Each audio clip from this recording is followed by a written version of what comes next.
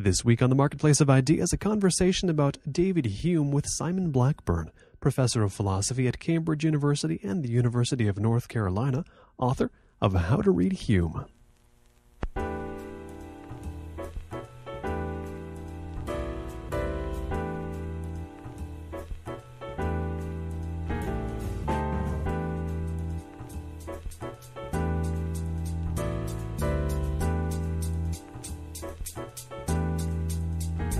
Simon Blackburn is a professor of philosophy at the University of Cambridge, a research professor of philosophy at the University of North Carolina, and a vice president at the British Humanist Association. His new book, How to Read Hume, is a master class on understanding David Hume, the greatest British philosopher. Simon, welcome to the program. Thank you very much, Colin. Hello. We have the distinct misfortune here of having only one hour to discuss the work of David Hume, but we'll do what we can. And first things first, David Hume is well known, of course, to philosophers, but I shudder to think there may be a listener who doesn't know who he is. So, purely in terms of David Hume the man, not necessarily his work, who was Hume? Well, Hume was born in the Scottish lowlands, uh, just south of Edinburgh, uh, in 1711. He grew up uh, moderately prosperous, um, not an aristocrat by any means, but uh, a sort of yeoman farmer, as they said. Um, he enrolled in Edinburgh University at the usual age, which was very young in those days. He um, performed well, but there's nothing remarkable about his uh, life up till the end of his teenage years. He then, um, uh, rather unsuccessfully, tried a career at law, but he couldn't stand it. And he tried uh, um, various things, but in, in, he had some kind of crisis or nervous breakdown or depression, uh, went home, recuperated a bit.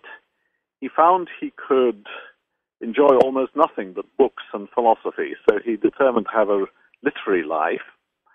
Uh, he removed himself to France, where he uh, lived very, very quietly in the country in a place called La Flèche, not far from Angers in northern France famous because there was a Jesuit college there, and there may have been a library which he uh, used. Um, and there he completed his first and greatest book, the so-called The Treatise of Human Nature. He came back to London in 1739. Um, he was still only 28 um, with the completed manuscript. Got it published. It wasn't a great success. It wasn't the success he'd hoped for but it was okay. It was good enough to introduce him to the learned world, as it were. And then he started writing shorter essays, which were also collected into volumes. And gradually he adopted the life of a man of letters. There were odd breaks, um, but for the next 25 years he wrote more philosophy, more essays, and the great history of England. He was the first great, great historian uh, of um, England and a great um, a model and example to subsequent historians like Gibbon and Macaulay. And then uh, he lived until 1776, uh, at the age of 64, when he he died in Edinburgh. He lived most of the rest of his life in Edinburgh. There was a rather splendid interlude when he was appointed the um, uh, the secretary to the uh, embassy in Paris, or Hertford's embassy, and he had a tremendous success as a sort of. By then, he was a, a distinguished man. He was a giant of the um, Enlightenment, and much feted by the philosophes in France. So that was an agreeable interlude. Um, but he returned to Edinburgh, lived quietly with friends, and, as I say, died in 1776. So that was his life. It wasn't very eventful, but it was um, eventful enough for him to know the ways of men, and um, and also, of course, he had a lot of awful lot of leisure for reading and writing, which he used very well. Speaking as a philosopher, then, what do the what does the life and what do the works of Hume mean to you personally? Well, they mean a great deal. I think it's fair to say that he was the first naturalist in European philosophy. And by naturalist, I mean somebody who had a long, cool, empirical look at human beings for what they are. And he resolutely refused any theological interpretation of what we're like, any divine interpretation. He was irreligious. Um, he tended to refuse the word atheist, although he um, was uh, universally known as the Great Infidel. He had nothing but contempt for the established church and for priestcraft, as it was called, as he called it. And you could see in, in his writings an awful lot of Darwin, uh, you know, a century earlier. Um, there isn't, of course, um, the, the, the principle of natural selection, but there is the idea that human beings are animals, first and foremost. We're animals who have to find our own niche in the world. We have um, our needs and our limited capacities to supply them by ourselves. So we're social animals. And it was the nature of humanity as an empirical and social animal that interested Hume and that sort of informed all his works. So I think those of us who think that that's the right kind of ideology, the right set of attitudes to bring to the study of human nature, always look to Hume as a great uh, inspiration and a great pioneer. How stark a contrast is Hume's view of humanity and how humanity should be studied from the philosophers that preceded him? It would depend a little bit who you took, um, but even if you took his, say, the two giant predecessors in uh, known as the uh, the British empiricists, that's uh, John Locke and uh, Bishop Berkeley. Well, both of those were Christians. They both thought that an important thing to say about mankind was the way he related to God, the way we relate to a divine world. It's uh, freedom from that that marks Hume out. He was also a much more resolute empiricist. He cared about the way the senses give us information each of Locke and Berkeley were prepared to duck out into a rather mysterious faculty called reason, which filled up the gaps. And reason might tell us about, for example, that we were God's children or that um, the world was going to be um, uh, comfortable for us and our descendants, or that there'd be uh, improvement in an afterlife. And for Hume, reason was utterly incapable of telling us any such thing. So he was anti rationalist and anti-theist, and particularly anti the idea that uh, reason could give you any insight into the divine nature and tell you how to conduct your life or what to expect or who to fear or what to hope for. So um, I think the only serious predecessors he had were not there in the proximate Western tradition uh, or Western European tradition, but possibly there in the classical world you can certainly see echoes of uh, Epicurus in Hume. You can see echoes of Stoicism uh, and echoes uh, of uh, Aristotle and Cicero. So you can see classical authors who influenced him greatly. But of course, um, the Stoics had a very sort of thinned out sense of religious belief, and Hume had in effect none at all. So yes, they're predecessors. There are always predecessors in philosophy. Another person that one might look at is Thomas Hobbes, who shared quite a lot of Hume's orientations um, a century and a half earlier. Um, but Hobbes had the misfortune of not writing as well as Hume. how much was Hume's, we'll call it, anti theism, how much does that account for why you latched on to Hume's writings when you first discovered them for yourself? Oh, quite little, actually. I wasn't very interested in his uh, in his skepticism about religion because I've never been a religious person. And so, you know, I've just always taken skepticism about religion for granted. But I was much more interested in some of the analyses of the theory of knowledge that he gives. gives. And then in the second half of my own career, I became interested in moral philosophy, more interested in moral philosophy, and discovered that the things Hume says about that are, are stunning and, and wonderful and original so, you know, he's been a great influence on me in, in that respect as well. In terms of the modern world of philosophers, I want to know where does Hume stand with them in general? I mean, you meet a lot of philosophers who respect Hume very much, like you yourself do. Is he universally respected this much?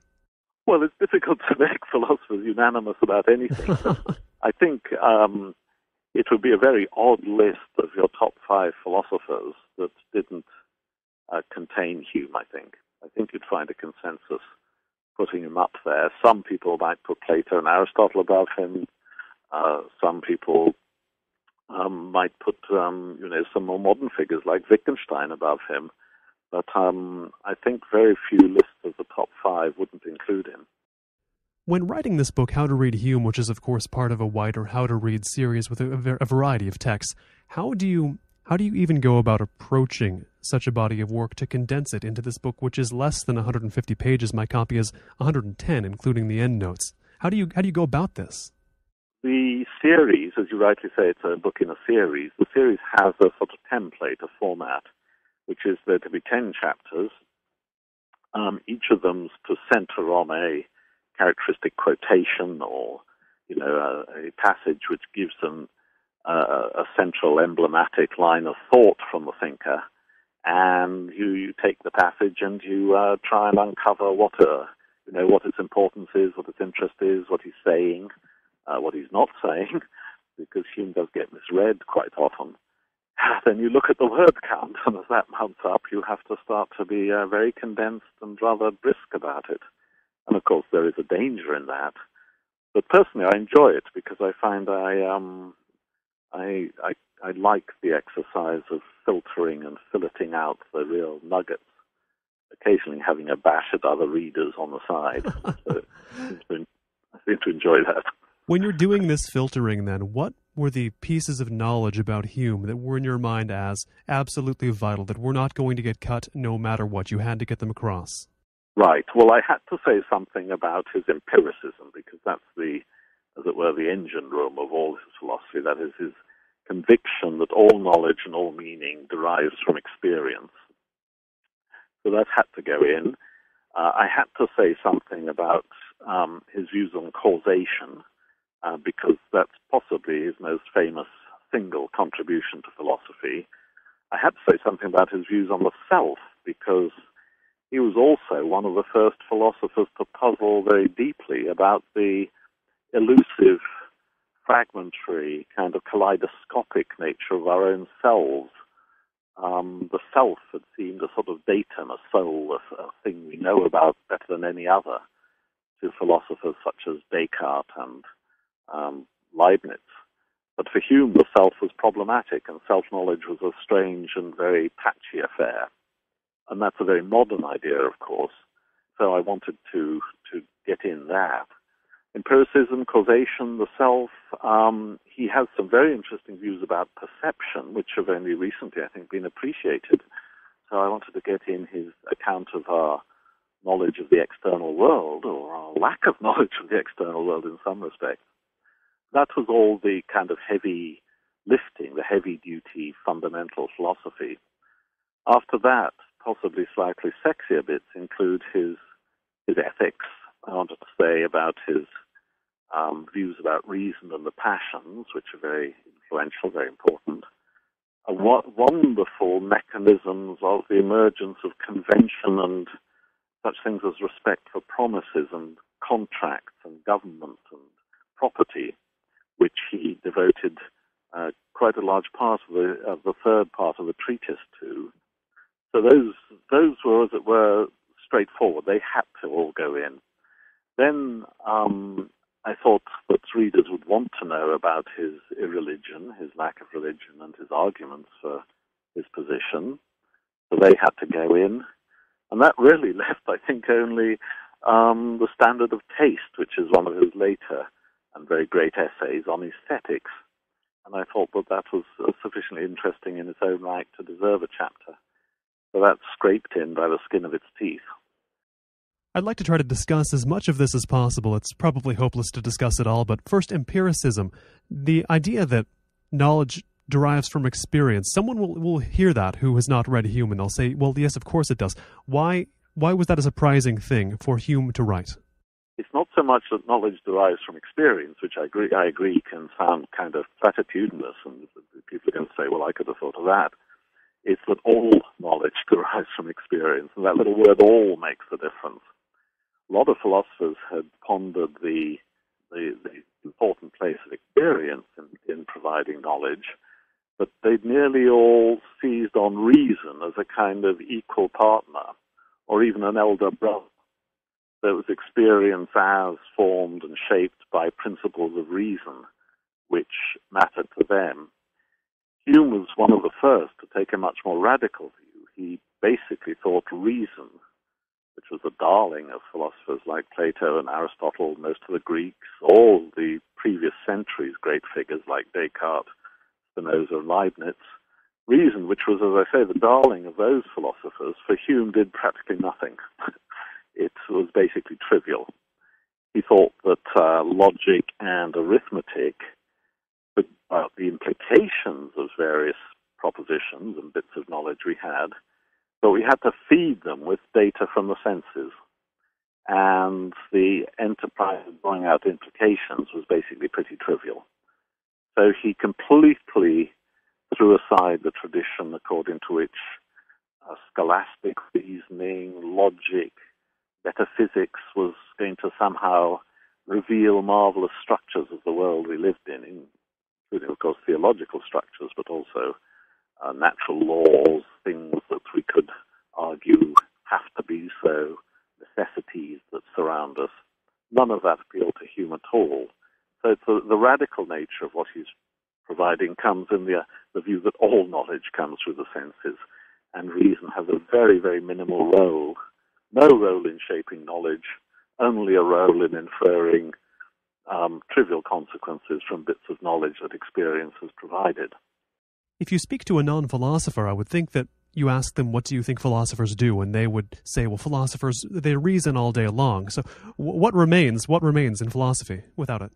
Well, he, that's a very good question, and Hume himself pondered it. He, um, he, the pessimism about the, um, the, possibilities for reason, when he sort of, when he finally uh, drew all the consequences out from his own position, there's a marvelously autobiographical and rather kind of melancholy chapter at the end of the first part of the treatise when he where he's done this, and he asks where where this leaves him. You know, how can he go on writing? How can he have anything to say if um, the powers of reason are as limited as his researchers had, had brought him to believe? He rather despairingly says, "Well, I'm not sure I'm not sure where I stand. Um, what I do know is I like going on thinking about it, so I'm going to do that. and um, and he, uh, he, as it were, rather possibly rather lamely falls back on the harmless pleasure that it produces for him to uh, the harmless entertainment that it uh, gives him to go on writing, and that's his uh, his kind of apology for doing performing an activity which he could be argued to have uh, to have shown to be impossible. Moving on to his ideas about causation. Now, here he does say something that'll be counterintuitive. What what did Hume bring to the table, causation wise? Um, in accordance with the resolute empiricism, he, he analyzes our experience of causation. What do we actually see, or hear, or feel, or touch?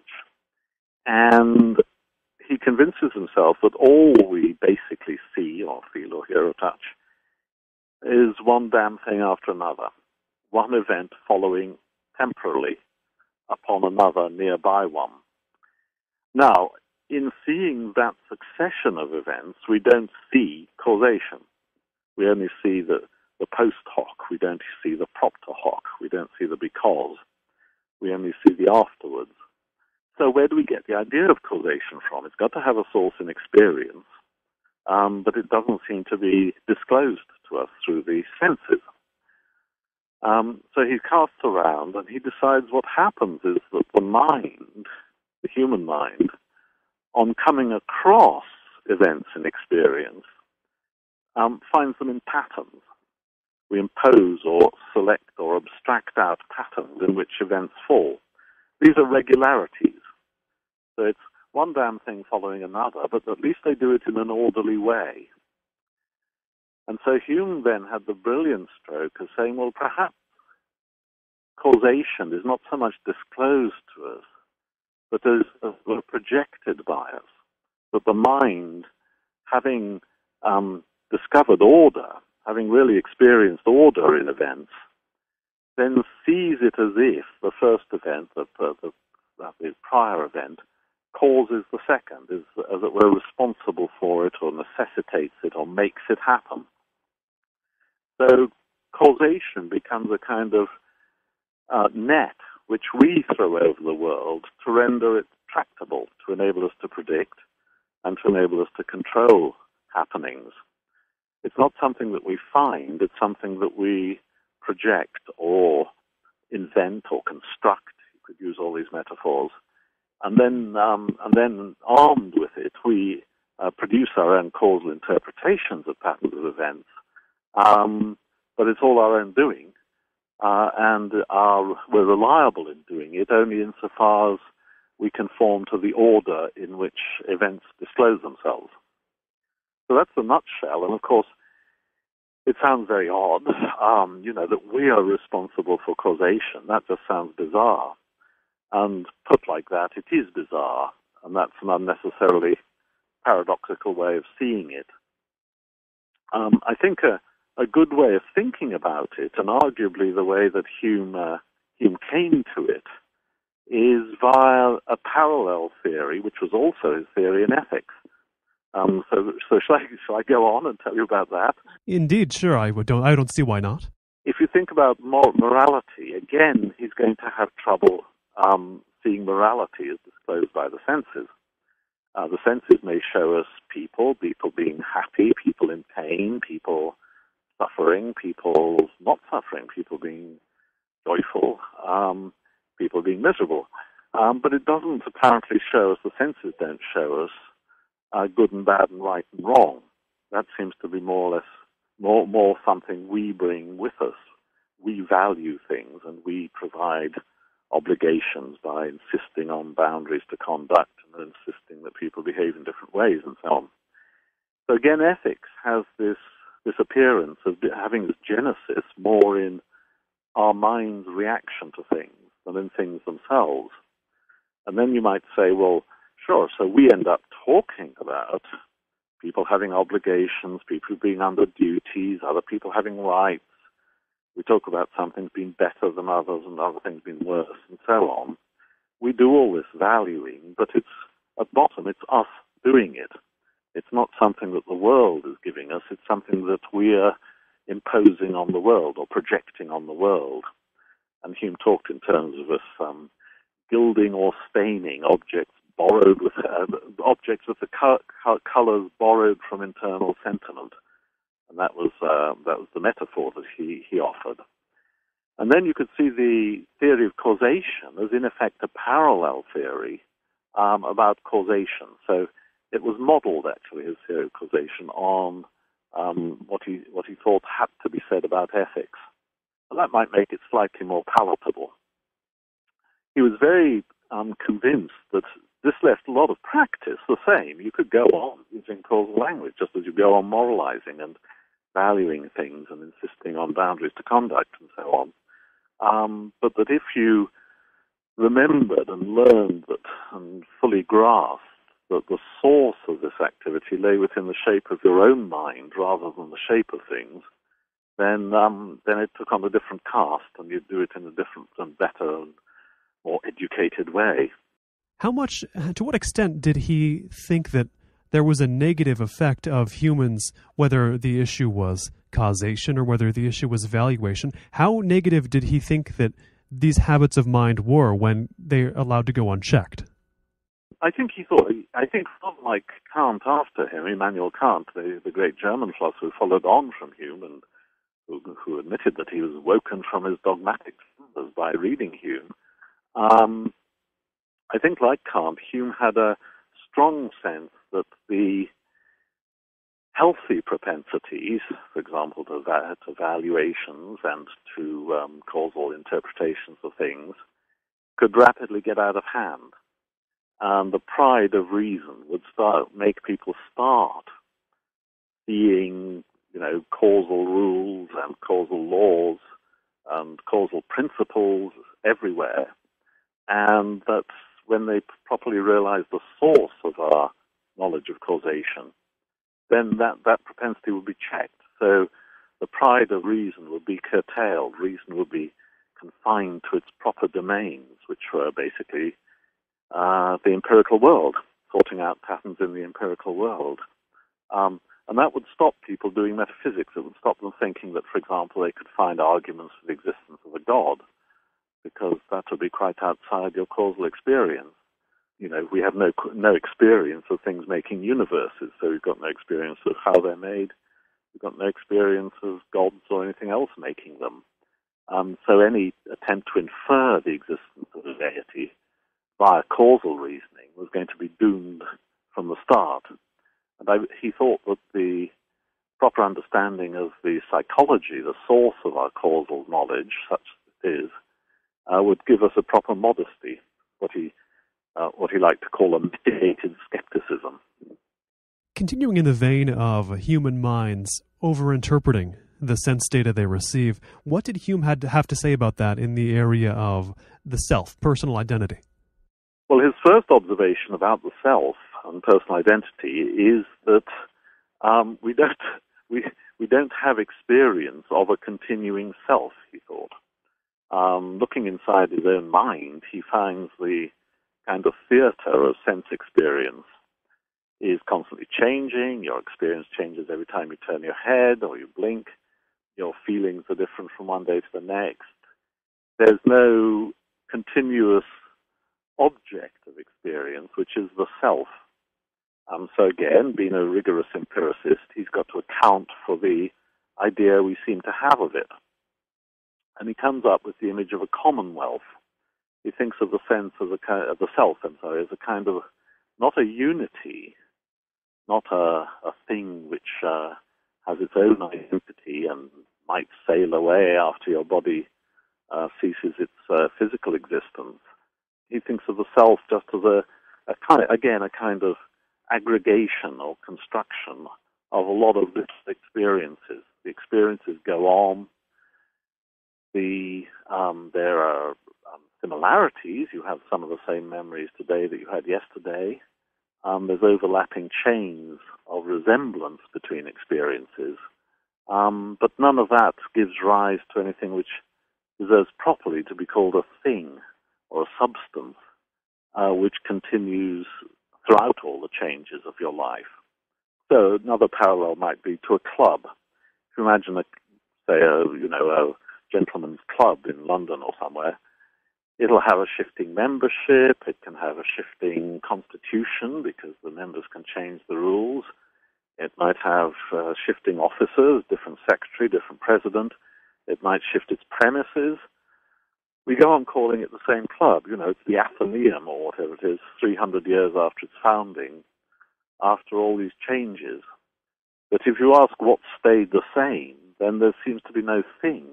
It's just we, again, it's us imposing a kind of identity on a shifting kaleidoscope of events. And it was by transporting that idea into connection with the self uh, that Hume made his original and I think very modern uh, view of the, the nature of personal identity. That's how he expressed it. So that's that's what happens there. And again, you can see a parallel. It's the same cast of mind at work as with causational ethics. It's um, that the world doesn't give us something; it's that we impose it or project it. What do his views, or how do his views on on perception, as you said, they've only recently come to be respected as much as they maybe should be. How do those link up with this whole chain of thought? Yes, well, with perception, he did re- run into a real stinker because with perception, um, he, conv- he was convinced that the primary data of the mind, the experiences on which everything rests, had to be thought of as fundamentally private and dependent upon us. For example, my visual experience clearly depends on me. It's, it depends on where I am. It depends on what I'm looking at. It depends on whether I choose to open my eyes in more, um, you know, recherche ways. It depends on me too. If um, if things had gone badly wrong, my vision might be blurry. Um, but the world hasn't gone blurry. It's my experience that's gone blurry, um, or it might be distorted in color or whatever. So he convinced himself, and he thought it was obvious to anyone who reflected for a minute or two, that our experiences were dependent, dependent on us, as I just said. They're kind of discontinuous. and they're at no distance from ourselves. My experience in the natural metaphor is that my visual experience takes place in my head. Now, in all those respects, they're different from the way we take objects of the external world to be. The objects of the external world we think of as largely independent of us. You know, the motor car that I'm looking at, or even if I turn my back on it, um, we think of them as um, continuous. The motor car doesn't go out of existence when I blink, although my experience does. And finally, they're at a spatial distance from us. The motor car is uh, you know, 20 yards from me, whereas my visual experience is not. So this had led previous philosophers like John Locke to postulate what he called a, what Hume called the double existence. Locke's theory was basically the, the stalking horse, the target for this part of Hume's philosophy, I believe. And okay, so experience is one thing, the external world's another thing, but that's all right because the external world can be reliably, as it were, indicated by your experience. Your experience can resemble it. Well, now, Berkeley and other philosophers in France had said, well, that doesn't really cut the mustard. That doesn't really do because um, this is before Hume. Because how does how, how can the theory of knowledge take us over the gap if there's two double existence, experience one thing, objects in the external world the other thing? How on earth do we manage to cross the gap? Think of it like this: suppose you suppose you spend all your life in a theater, in a literal, literally in a theater, uh, and you see various scenes on the stage or various films or whatever you see. You've got a you've got a life going on inside the theatre, and you're asked to tell about life outside the theatre, but just on that basis. You're allowed no access to no direct access to the world outside the theatre. It sounds as though you'd be stuck. You wouldn't know. You wouldn't have any way of knowing how the scenes that you do see are caused or brought about by the things you never see. This would be a classic case of theorizing beyond experience, because experience is confining you to the theater. But if you were trying to talk about a, a separate existence, a separate world, a world outside the theater, you'd be completely impotent. You wouldn't be able to get there. So skepticism seemed to lure, uh, seemed to, lure, to stare Locke in the face. And nearly all philosophers in the generation following Locke found that a real problem. Berkeley found it a problem, Hume found it a problem, Kant found it a problem, uh, and they all tried to give their own solutions to it. Well, Berkeley, sorry, can I go on? oh, certainly. I know I've been talking far too much, um, but it's so exciting. um, Berkeley thought, right, we can solve this by getting rid of the outside. So Berkeley drives the entire world back into your own head. Um, that's subjective idealism, as it's called. Well, Hume, coming after Berkeley, um, just saw flatly that this won't do. That's incredible. Nobody's going to believe that. But he thought that Berkeley was right to um, see the skeptical problem that loomed for Locke. So Hume comes at it, and the one thing he does see is that the double, the story of double existence will not do. If the if the if the Lockean story did represent our position, then it's not just that we couldn't know about the external world; it's very unclear how we could even think about it, how you could have the idea of it. And again, his resolute empiricism doesn't allow our ideas to outrun our experiences. So so Hume lays down the axiom that with us, our experiences are the things we see. And the, then the problem is how you make sense of that, because we had these little arguments a moment ago that they can't be. Um, and eventually, this leads, drives Hume to despair. The chapter in which he talks about this is the most despairing chapter in the treatise. And it ends up saying carelessness and inattention alone will afford us any remedy. Um, and that's the remedy of finding a, a satisfactory way to account for the way our perceptual experience gives us knowledge of the world. If you're just tuning in, this is the Marketplace of Ideas from Colin Marshall Radio at colinmarshallradio.com. On that website, you'll find other podcasts, our complete show archive, and more. My guest is Simon Blackburn, author of How to Read Hume, professor of philosophy at Cambridge University and the University of North Carolina. There's one move in this particular discussion that I think may be a stumbling block for listeners or even even for readers of philosophy, and that is that the issue of directly experiencing something as opposed to sense experiencing it. Now, how is one to conceive, even in their imagination, of experience that is not sense experience? Oh, I think um, as far as this part of the discussion goes, all our experience is sense experience.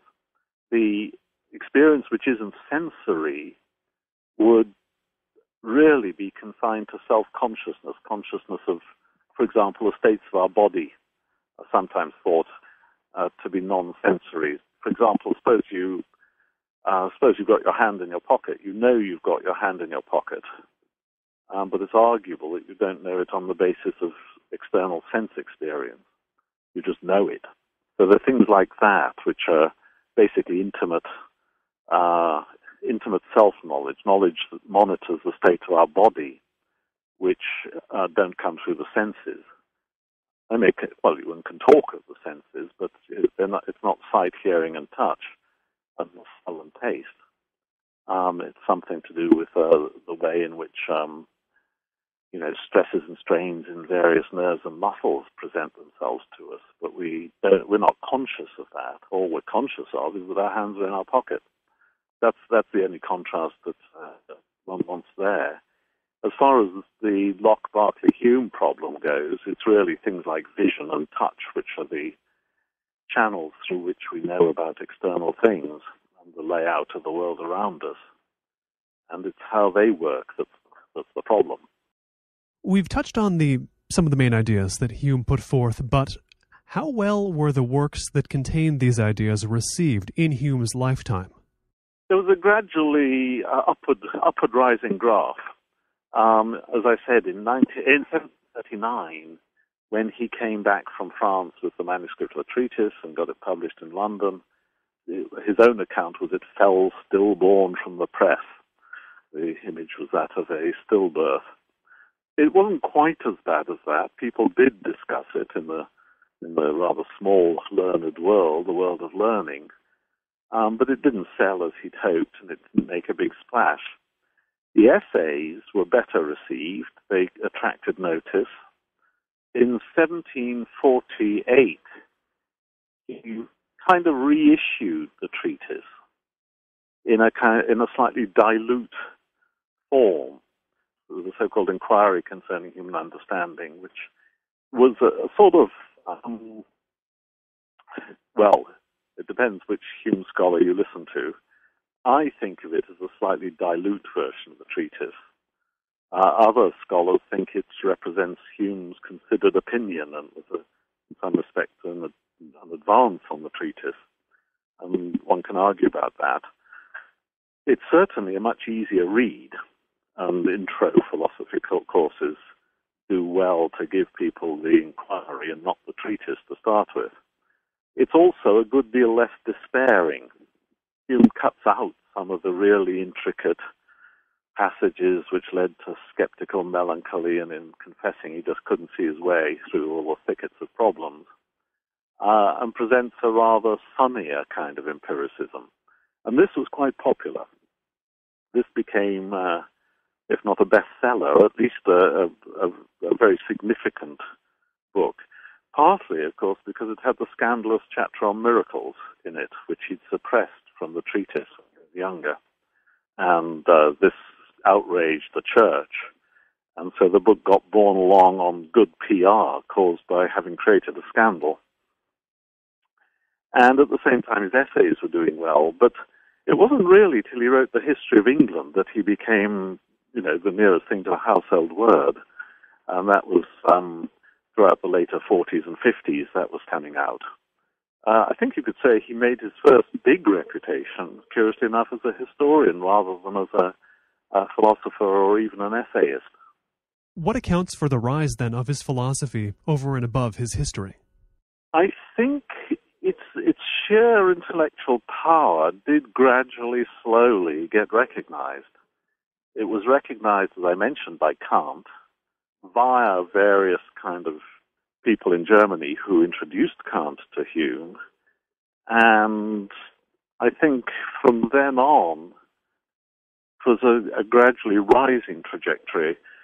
It, it got a little bit eclipsed in Victorian times because Hume's irreligion stood in the way of people appreciating him, I think. But then when Darwin revolutionized, you know, the way we think of human beings, the way was clear for people to say, well, you know, Hume had a lot of Darwin's vision before Darwin. He didn't have the, the, the detailed empirical biology, but he did have the same confidence that it was as animals that we had to be understood. And um, since then, in the 20th century, it was a just a rising graph until, as I say now, he is in almost everybody's pantheon as a philosopher. You yourself are said to hold neo Humean views, and if that is indeed correct, what separates the Hume or the Humean from the neo Humean? um, well, um, the way Hume frames his empiricism is, I think, untenable. I think one has to uh, give a rather different account of experience. Uh, well, Kant put it in a in a nutshell. He was actually talking about John Locke, not Hume, but I think many people would say the same uh, charge applies to Hume. That uh, Kant said that Locke sensualized the understanding. Now, by that, Kant meant Locke didn't really make room for conceptual power as well as uh, this, the passive data of the senses. He didn't realize the extent to which the mind is already active in interpreting the data of the senses. There's very little of the given. The phrase the myth of the given is one of the sort of catchwords of contemporary philosophy. And um, I think Kant was the first to, in effect, say that there is, in consciousness, there's no given, there's only uh, experience which has been marinated and uh, peptonized, to use a phrase of William James's. So I think a more active view of the way the conscious mind processes experience has got to be uh, imported into Hume. I think Hume works with slightly um, uh, antique categories, inevitably.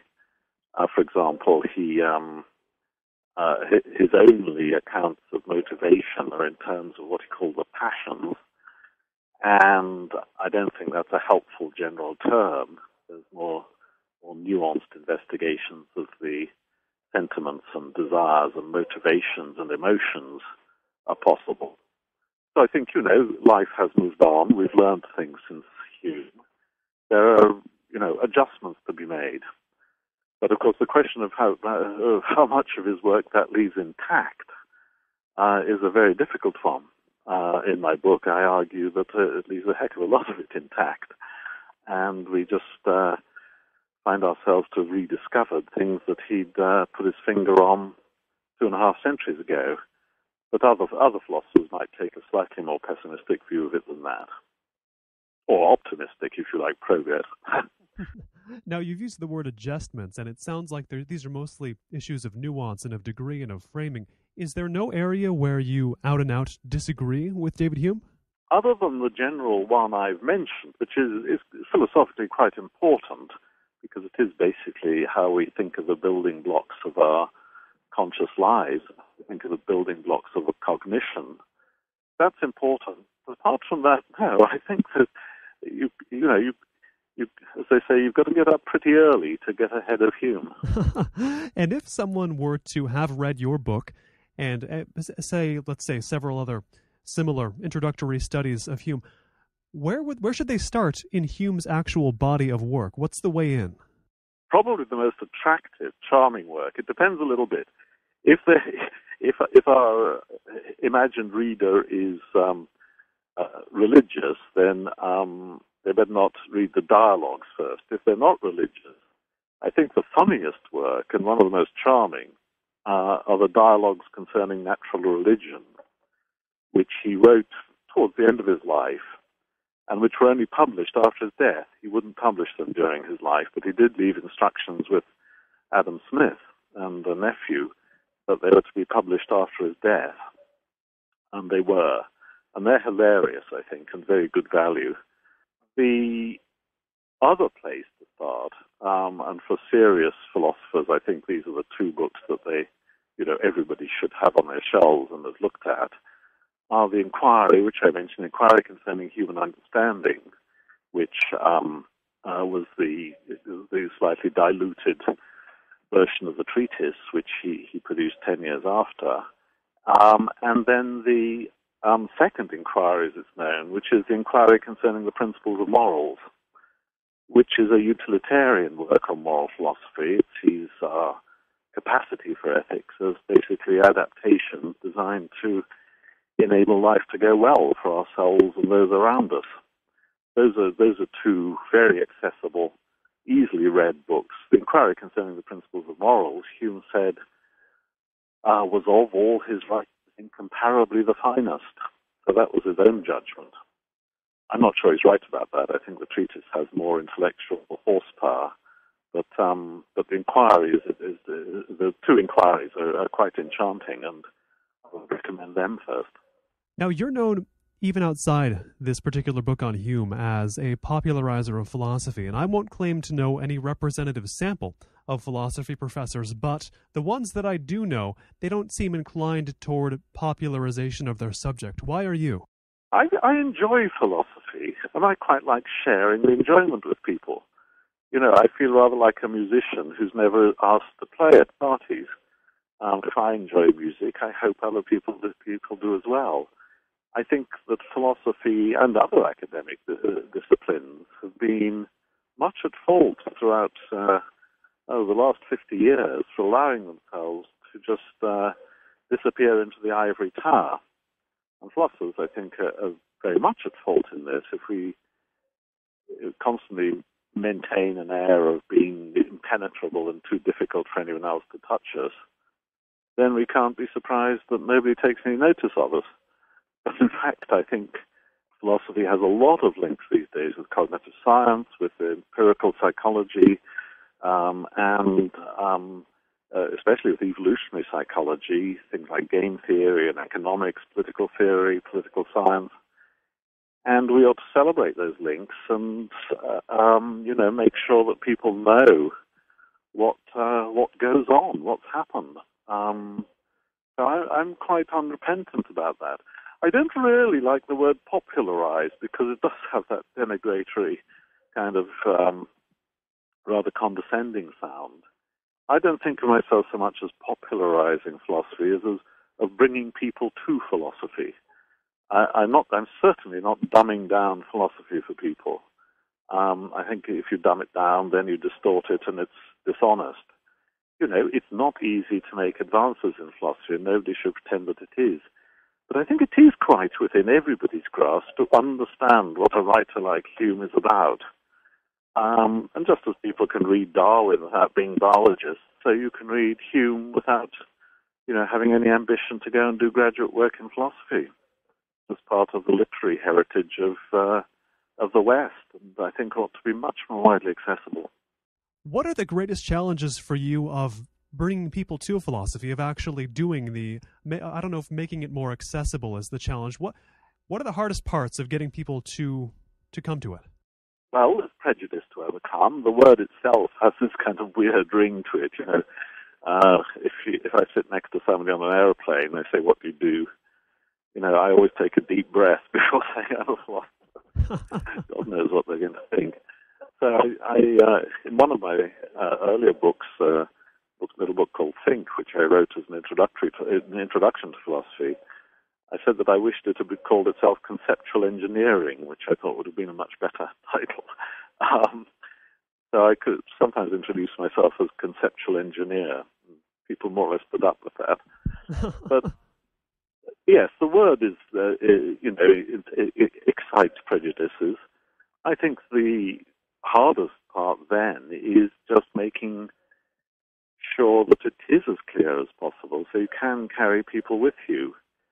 And, you know, there are what the French call déformation professionnelle, they're professional deformations, which afflict philosophers.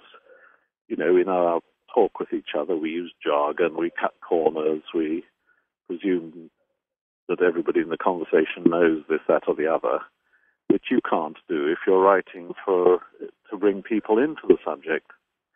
So, you know, I have to constantly monitor myself to make sure I'm not presupposing things which I shouldn't and expecting more of readers or or sometimes it's just a question of being blind to traps that you may have unwittingly laid for a reader so they you don't realize that the you know such and such a phrasing is likely to send them galloping off down the wrong path and um, you've constantly got to monitor your own writing and try and keep one's democratic tendencies to the fore. You mentioned the scenario where you sit down next to an say airplane seatmate and you tell them you're a philosopher and that opens up a, a, can of worms now what i have always imagined is that telling somebody one is a philosopher results in someone who doesn't know the subject assuming making assumptions about philosophy that it is essentially oh saying whatever one wants uh, they they confuse philosophy and worldview. Is that actually a is that does, do you encounter that? Yes. Oh yes you do. I mean um uh, as in, oh yes, my philosophy is, you know, always grin and bear it, or whatever. Um, yes, you do, and that's one of the, the annoying things about the term. um, um, you know, there is there is a, a tendency to think in terms of, you know, cracker barrel philosophy or um, just uh, proverbs, ideology, little nuggets of wisdom which uh, people like to think they've got hold of. And that, of course, has nothing to do with what somebody like uh, Hume or Kant is trying to write about. How do you break that to people that they have a wrong idea of philosophy?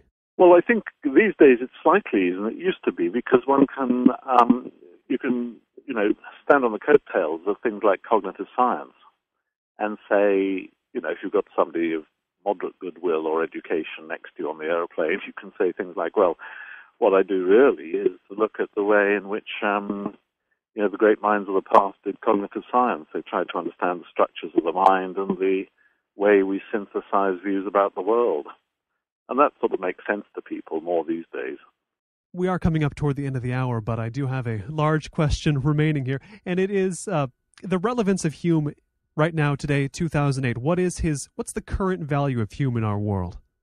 Well, I think the world would be a better place if more people read him and absorbed what he has to tell us, without doubt. Uh, I've already mentioned the, the cognitive modesty, but Hume also pioneered, and this is something we haven't probably talked enough about, but he, he also pioneered uh, the kind of study that people make of cognitive dysfunctions.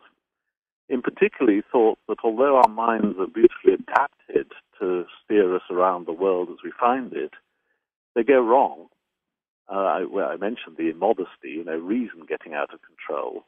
Um, but he thought that superstition, for example, showed people pretending to things or getting in the grip of ideas which were wrong and which would mislead them and prove to be useless and bad for them.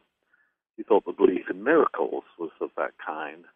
Um, so all the kind of weird isms that afflict the modern world, things like you know, homeopathy and faith healing and um, various spiritual disciplines, so called, and heaven knows what, the whole sort of New Age panoply, he would have simply dismissed, and I think rightly. Um, I think he, you know, he's a great enemy of, on the one hand, superstition, which is false or magical thinking, and on the other hand, enthusiasm, which is uh, the view that you have a hotline to the Holy Spirit and, uh, and, and, and the right, therefore, to tell other people how to behave and how to live their lives and so forth. He saw superstition and enthusiasm as great enemies of human progress. And I think he was right and is still right.